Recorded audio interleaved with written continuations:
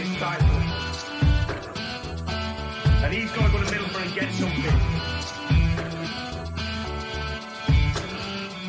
And, and I'll tell you, honestly, I will love it if we beat them. Love it.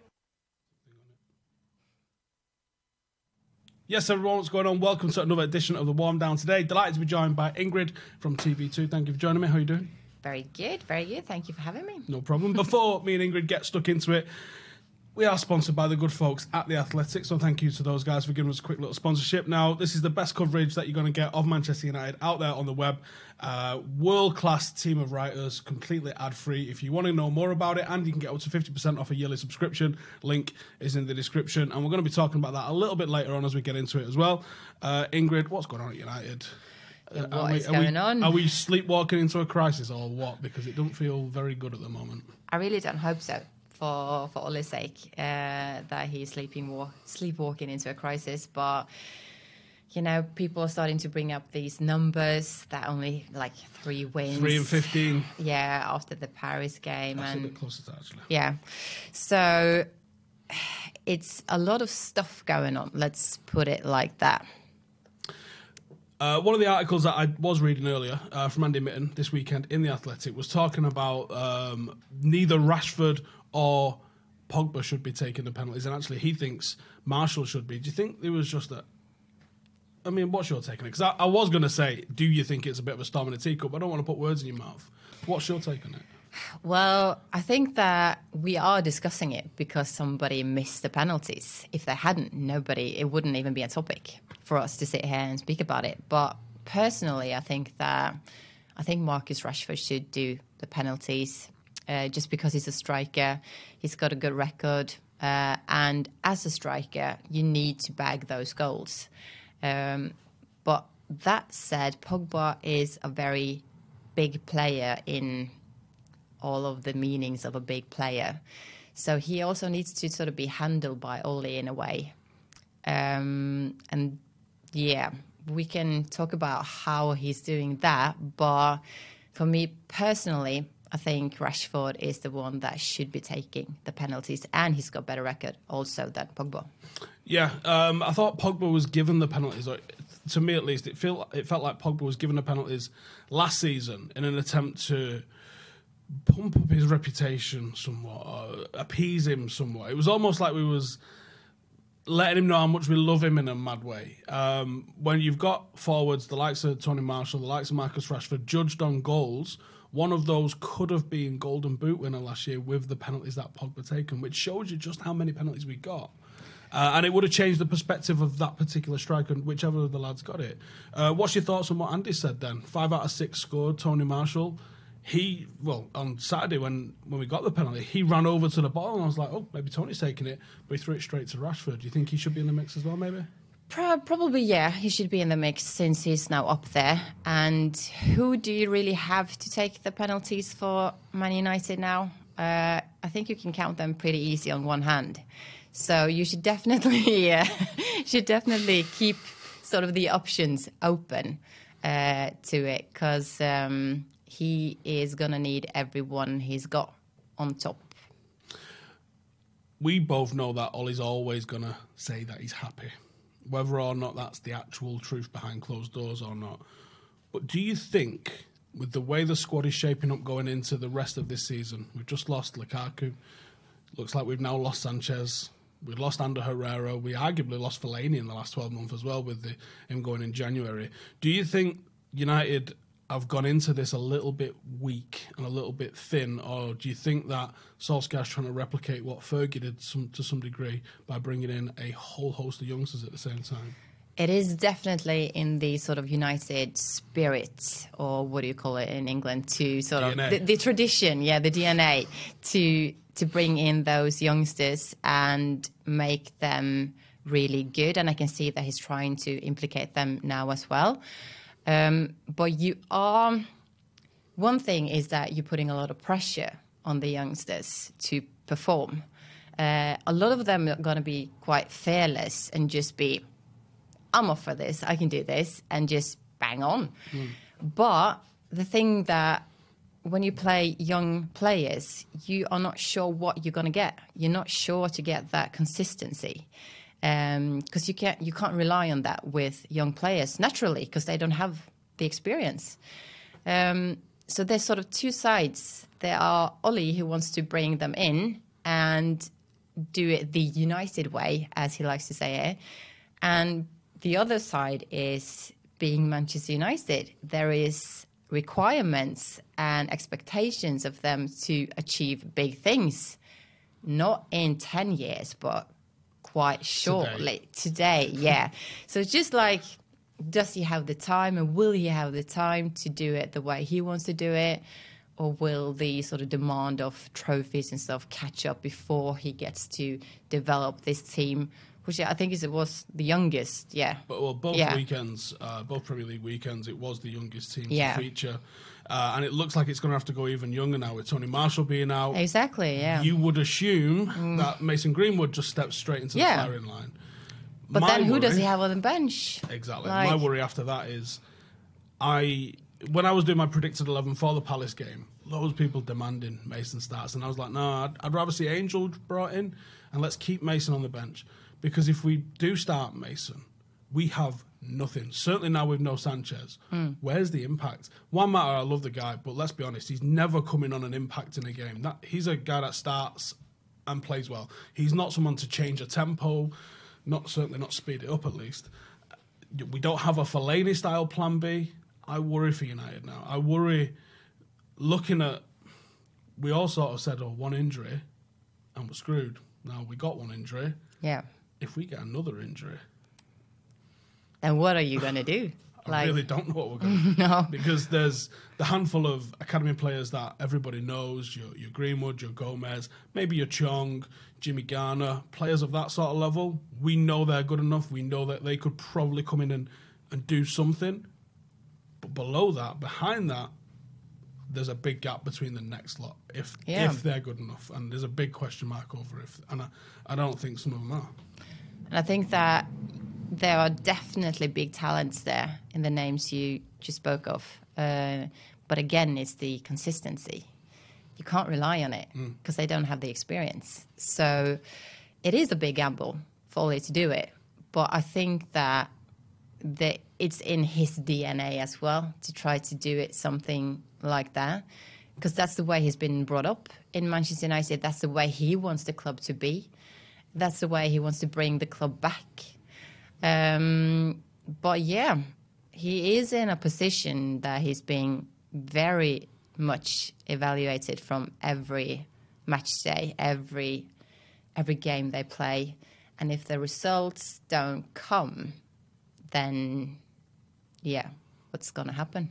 Yeah, and, and I, I, I would like to think that the appointment of Ole was a signal from the the owners and the management that this was a new project starting the day Ole is appointed, and a project that's got three to five years to mature, because you can't give Ole the tools that he's currently got and gone. You better go win the league, mate. You know, not only are we looking at a big four, which has grown into a big six, I think the likes of Wolves, Leicester, Everton, two of those could make it a big eight. And you know, eight into four does not go uh, No. at all. uh, some teams are going to have to start missing out, and I, I think you're very likely to see Chelsea, Arsenal, maybe ourselves start giving up some ground to the likes of Everton and Wolves who've got less pressure on them. Yeah, definitely. And that's, I think that, yeah, Ole has to sort of look over his shoulder to pay attention, not only in the top six, as you say, but the other one are catching up. And they are catching up into the sort of top six or top eight, as to say, while what I think that Man United fans are asking why can't we sort of catch up to the top two, which are Liverpool and City at the moment, and what should they do to be there? Mm. But we don't know what sort of agreement that Ole has made with with Wood or, or the board in terms of his project. Maybe they have sort of an arrangement that you will have time to develop this. We need to get the young players up again and make this the way and the identity that United is supposed to be. And then if you don't get results in two, one, two, three yes, that's fine as long as we rebuild this team because that's probably, in my opinion, what United should be doing. But at the same time, as I said, they are United, so you don't really know what's sort of going on there. But it's a um, tough balance to handle. Yeah, I think Jose fell foul of that one a little bit, whereas he was clearly brought in to bring in immediate success, which he didn't do. But he did bring in some success. You know, we went to a few Yeah. cup finals, we won the Europa League and completed all our, our trophy cabinet. Uh, we won a League Cup. We were very unlucky against Chelsea in the FA Cup final. He came second. And then a few months later, he still loses his job. Um, I know that there was problems behind the scenes with Jose. I know that he'd spat his dummy out, and I, I know that it looked like there was a never-ending slope that we didn't seem that we was ever going to get back on with Jose. But if we can get rid of Jose, and he brings in a, a couple of trophies, a few cup finals, and comes second, we can get rid of Louis Van Gaal the day he wins a trophy. What is the success barometer that the club are going to put Yeah. on Ole? I, I, I worry because I think it definitely needs a long term strategy to actually get this over the line and, and make this successful because I, I think we entered into an agreement like you all dance with the devil if you want to call it when you sign someone like Jose Mourinho and when you've entered into this cycle of almost what Chelsea have done where they're just binning managers all the time you can't build anything sustainable by doing that and I would love it if uh, if Ole could build build the next dynasty you know from Sir Matt to Sir Alex to someone like Ole coming in obviously he's already got the love of the fans This even fans already sort of saying he ain't up to the task, but I think he's got to be given the tools to get up to the task. the tools and the time. He says it himself in, in the press conferences all the time that this is no quick fix. So I don't know if he sort of speaks to the fans, uh, the board, who he's speaking to, probably everyone, uh, that he needs time because United are now in a position where I felt like maybe Liverpool were uh, a couple of years ago, where they really have to like sit down and like rebuild the whole thing fundamentally and up again, and that's not done in a jiffy. It's it's going to take time, but if he will, yeah, as you said with with uh, with Mourinho, what kind of barometer are you working with here? But It probably is different. yeah, Mourinho probably was measured against winners of league, and that was probably the, the, the start and end of his definition of success. Yeah. Whereas I think Ole could have something different. I think if it's bring through, you know, it's probably not a number on it, but you know, start bringing through youngsters, start utilizing the academy.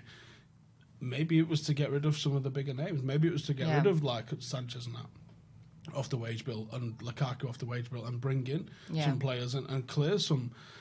It feels a bit too planned for some of the, the wages that have left hmm. to have all left in the same summer and not for you know I can't imagine and I certainly hope it's not the case that we're not just going to be like nice one I hope that there's a case that next summer there was some mega signings coming in and that doesn't Yeah. necessarily mean just mega money it just means like a, a big outlay on somebody like a Jadon Sancho because he still fits that mold for me of what I think United should be looking for he's just going to have a big fat fee attached to him because of what he's been doing in Dortmund Yeah, exactly. Uh, and how Ole is going to play that and how the club is going to play that is very, very interesting. Uh, the things that we see now with, yeah, Lukaku and Sanchez probably uh, going, um, not bringing in any sort of particular replacement forwards. Is it is it done intentionally? Uh, it's or got to be surely it has to be. You would think so. But then again, if it's intentionally, you would really think that, yeah, he's going to have some time to build it because I think you don't even have to like football to see that, okay, if I'm going to build this team with a lot of young players as well, it's going to take time. It's very easy mathematics to, yeah. So we'll see. Going back to what you said about Liverpool, um, I see a lot of that Liverpool style of play in both what he did at Molde and also what he does, uh, or he's trying to implement at United. I just don't think he's been quite as successful yet. I think one thing that you could say Klopp did was he got his identity over first and foremost and then they bought well. You know, they had the likes of Trent come through the academy, but they identified the likes of Robertson, Van Dijk, new goalkeeper, and they slowly begin to add to a team and improve that team. I think if Ole's allowed to do the same sort of thing, where he's, he's cleared out some of the decks, and you know, many more would argue there's a lot more players need to go, and I, I certainly wouldn't stand in the way of that. I think the way the likes of Smalling and Jones have been ghosted out of the team has been fantastic for the likes of Axel to come through and be that third choice. I think if he's allowed to start identifying the needs now of the team, which he's done with Wan-Bissaka and he's done with Maguire, I think everyone would agree. Yeah. We needed a centre half, we needed a Yeah. fullback. If he's able to plug and improve those weak points, I think yes, this is a project that you know you could in three or four years start to see United compete, especially as three or four years you would expect this Liverpool team to have passed its cycle and to be in the next rebuilding phase. Arguably the same with Manchester City if they've not already started to do that. Yeah. You might see United sort of peaking at the right kind of time in a few years, but it is going to take years to get this right. Exactly. And normally you don't get very many years in United if you don't do well.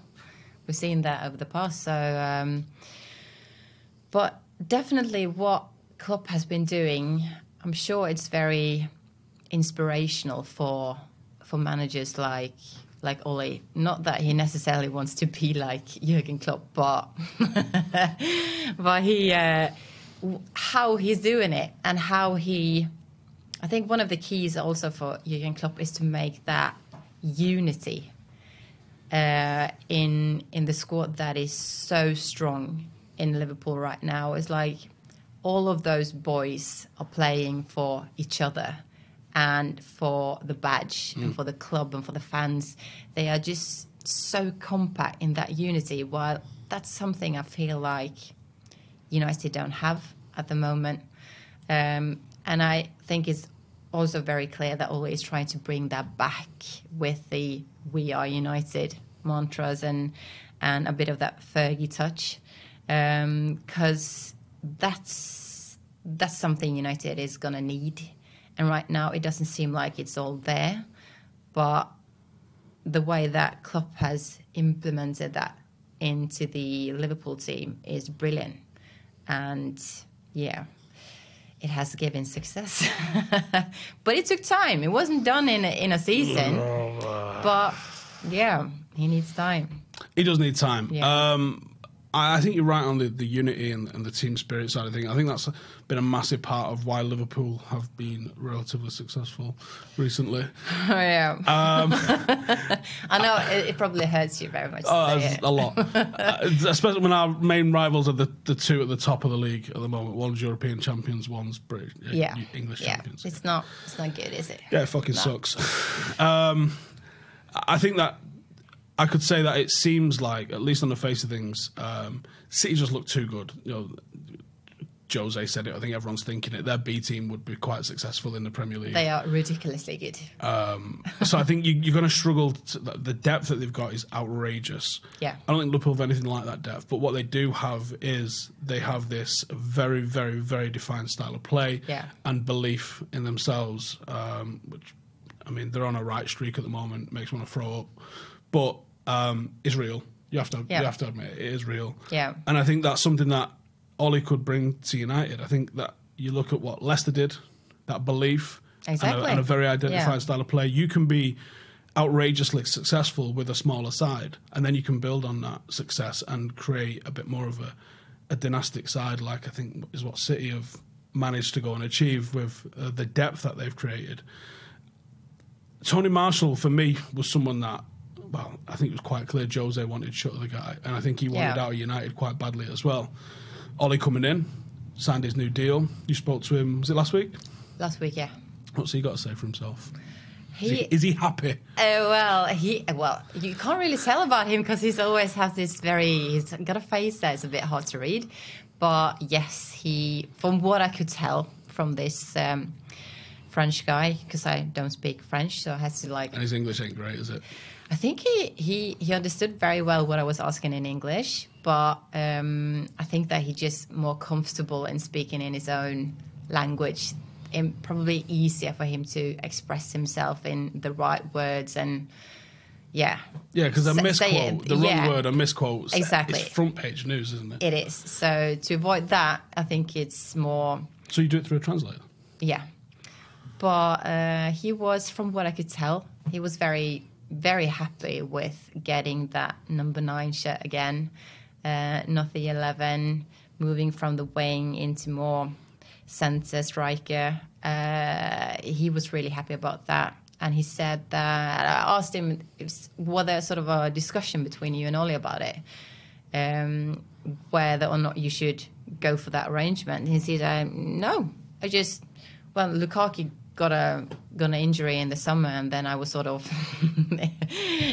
play, placed there. Fucking did it.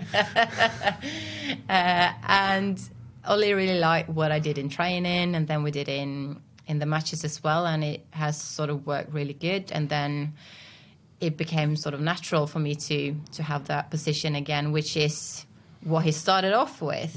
But since um, other players came in, Zlatan and Lukaku, he sort of they pushed him aside, both maybe like in more ways than just physically.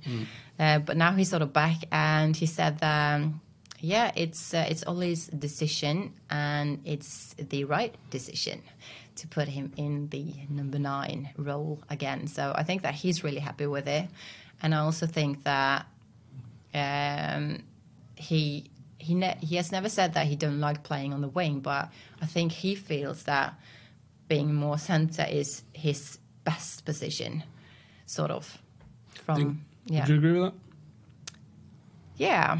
Well, he got qualities which are good for both positions, but it. uh, I think ultimately it comes down to feeling um, that you sort of have earned your way into a role, and especially if he thinks that this is where I play the best, then in your if your mindset is in is on that, that's sort of naturally where you will get the best out of yourself. I think. Um, so for him to play there, it's just a shame that he got that injury now. But hopefully it's not out for that long. But No, I think it's said around about a month he's looking at. yeah, so obviously bad timing for that one. But I think he is he and he and Rashford is, is gonna link up quite well there. I think they they sort of how do you say it in English like fill out sort of Mesh. yeah, I don't know. The, I can't remember the like English word, but they complement each other. Yeah, complement. Yeah, I think he's got a very good point in terms of obviously he, he was someone that Louis brought in. Uh, same with Marcus. Mourinho arrives and he brings Zlatan. Zlatan's playing down the middle. That's that. No one else is getting a look in. Marcus got a little bit of a look in once Zlatan was injured towards the back end of that season. Played as a striker. Um, uh, Tony was shoved out wide for that. Then he brings in Lukaku, shoved back out wide again, and then you bring in Sanchez, who you know, considering how much he was on, I think it was one point trillion a week or something like um, whatever he was on. Yeah. He he's got to play as well. So I think both the lads, Marcus and Tony Martial, have both suffered because of the the signings that Jose had made, and I think both lads probably have earned the right to have a regular starting spot in the same place week in week out. I think it'd be really interesting this week to see what Ole does, whether he puts um, Mason down the middle Yeah, I don't think he will. I think he'll probably put Marcus down the middle and he'll move James maybe to the left and, and Mason to one of the other sides. Um, do you think it's too soon for Mason, or do you think he's uh, got the ability or the, the attitude?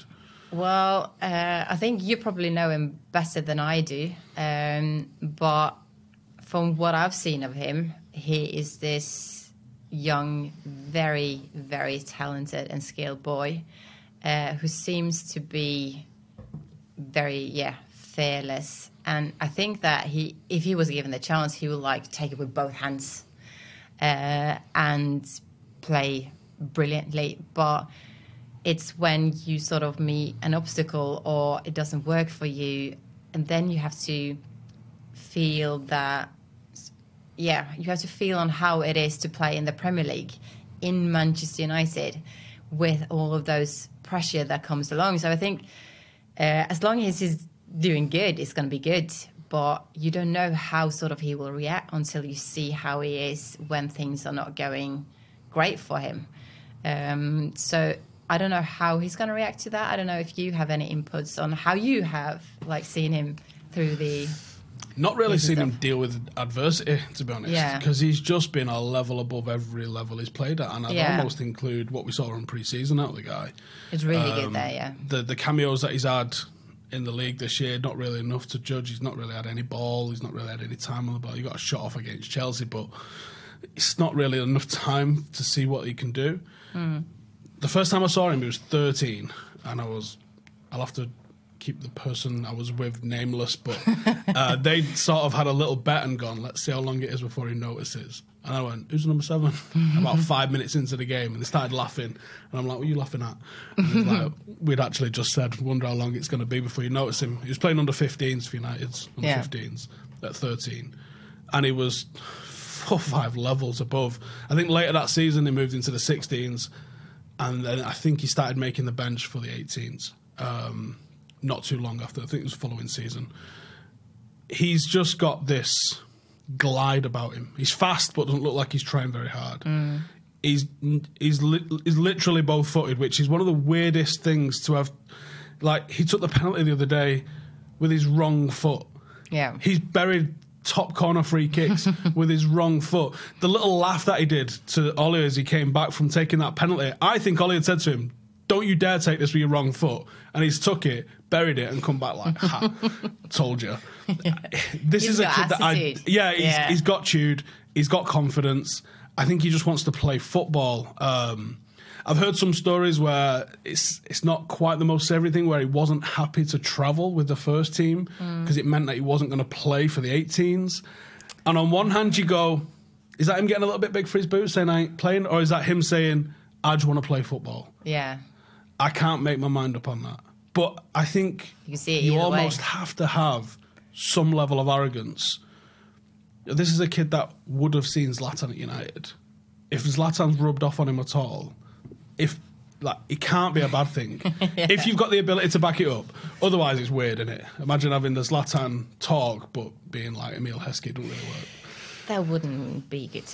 Uh, but uh, yeah, as you say, I can really see him being a big success in United, and I really think that Ole, there's nothing he would like more than to see guys like him succeed. Yeah, someone he debuted Yeah, with, yeah. that would be like perfect. Um, and, but also, like as you say, he you got to have that sort of weird, crazy confidence if you're gonna be like top top notch. I know he was pissed off he didn't score against Cardiff. Like Yeah. really pissed off that he hadn't scored. But if if you know the greatest players of all times all have a very twisted mind that is nothing like us ordinary people walking around on this earth. You have to have something very sort of crazy ass thing in your brain to be on that level. Uh, and when he has the skills to back it as well, that is interesting. Imagine what Zlatan would have been like as a 17 year old. Obviously, none of us really remember. There wasn't social media, so we never got any of the clips or interviews or anything like that. Yeah. I can imagine 17 year old Zlatan just being like Zlatan is now, Yeah. but younger. He's just always been like that. Yeah. I think. Yeah. And I wonder if the, there is something like that in Mason where he's pissed off if he doesn't score. Yeah. And he'd rather just not travel with the first teams. He's not, it doesn't impress him, I don't think. Does he rather just go, I'd rather play? Yeah. You know, uh, is that something that he'd rather have? Uh, I don't know. We don't know, but definitely it's going to be exciting to see where his sort of roads leads to because he got so much good going on for him. So it's just about making that potential shine. Yeah, I think we've got a real gem in our hands. Uh, I'm going to wrap it up there. But Ingrid, thank you Yeah. for joining me. Um, Thank you so much for Make sure to having go and give her a follow. Do you want to give yourself a little shout out where you can find you?